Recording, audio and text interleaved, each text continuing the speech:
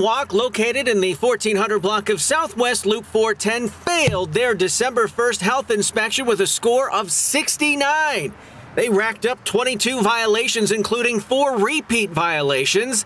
They included keeping foods in the danger zone without providing cooling logs showing when the items were made. Raw meats were stored in bowls stacked on top of each other without coverings, while other meats were also improperly stored. Workers weren't washing hands properly, and the kitchen area needed a thorough cleaning. A reinspection was required. El Canelo number 7 located in the 3500 block of Culebra earned a 77 and a temporary shutdown. The inspector closed the business due to not having hot water. In addition to that, they had several cans of residential use bug spray stored near food. They were also missing a current food permit. The business allowed to reopen when the hot water was restored. Palomar, Comida, and Cantina in the 12,000 block of West Avenue earned an 80 on their December inspection. They were told to stop storing prepackaged drinks and fruits in the same ice used for customer drinks.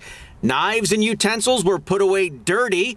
There was a presence of flying insects throughout the business with a concentration near the bar. Multiple food items were expired and the ice scoop was being stored on the dirty surface of the ice machine. They were given 10 days to buy an updated permit.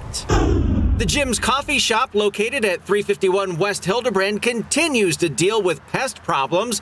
The last time we stopped by the business in April, they had a 78 and were dealing with a rodent problem.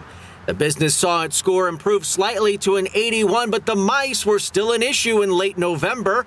The inspector found rodent droppings and there was a dead mouse stuck to a glue trap. The business told to address the problem in time for a reinspection. Nick's Mart, located in the 400 block of New Laredo Highway, earned an 86. They had food on shelves for sale that was expired in October. The ice machine had a black substance growing inside. They weren't properly labeling foods packaged in the store, and there was no hot water for employees to wash their hands before handling food.